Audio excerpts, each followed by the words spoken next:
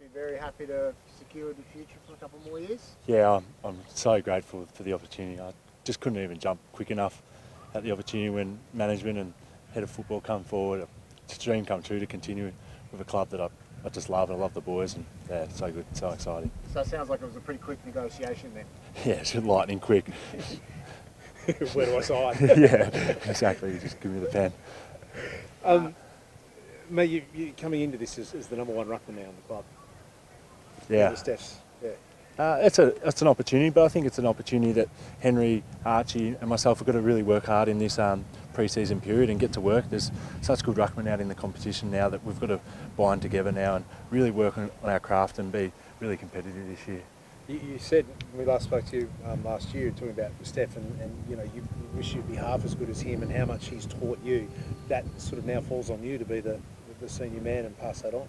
Yeah, I'm very grateful for Steph what he, he gave to me the other opportunity when you come into a system and have a ruckman like that to look up to uh, is first class and hopefully that some of those tips and tricks that he's gave me and just uh, trying to copy and paste his professionalism that I can sort of try and continue that path and try and learn from him.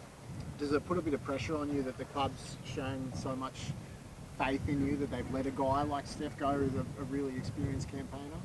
Uh, there's no pressure. I think what's so good about our club, especially it's led from Fags at the top, is that we just continually hunt improvement from the top down, and, and Fags leads by example himself. So as long as I keep coming in every day trying to improve, them, uh, I think the pressure will take care of itself. Have you noticed his absence um, from the club? He was such a, I guess he had such a veteran presence around the place. What's it been like without Steph here? Yeah, obviously he was a great mentor for mine, so it's different coming in and different in our mat sim as well, not butting elbows with him every second week. And um, but I suppose that that's a part of the footy now. And being in the system for four or five years, you sort of it sits uncomfortable. You sort of see these guys, they're really good friends, come and go. But um, yeah, I suppose it's some part of footy that we're just going to keep getting used to.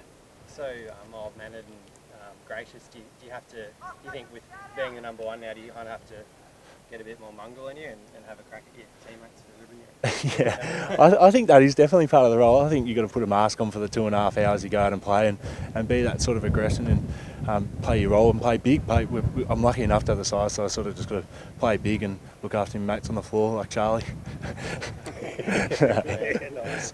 Uh, mate, with Joe coming to the club, I mean, that, that role of you going down front, you were the, the big target down there. Does that change or will that change this year? Do you, do you spend, we spend more time in the middle or we still see some time up front? Oh, oh yeah, I'm, first of all, I'm so excited to have Joe. Yeah, what a presence he is on the field. Um, such a big frame. I, I, couldn't even believe how big he was to begin with when he first rocked up. Um, but I suppose that's the exciting period of this sort of period in January to Feb where Fags and the coaches get to experiment with all these different looks. We've got so many big boys that can mark the ball out in front. Um, so we've just been playing around what that makeup looks like is sort of what we get to find out over the next sort of four or five weeks of mat simulation and training. So have you spent most of the time in the middle or you spend some time down the front? Yeah, probably 50-50. I'd Yeah. suggest, yeah, just again, just playing di- numerous roles and being able to compete. And I've got, as I've said before, I've got a simple role, just compete, bring the ball to the ground, and then let the little fellas get to work. You don't see too many teams that have guys of your height, Oscar, uh, sorry, your height, uh, Joe, um, and Eric being able to match up. It, it must create some match-up nightmares for opposition defences when all three of you can go forward and kick goals.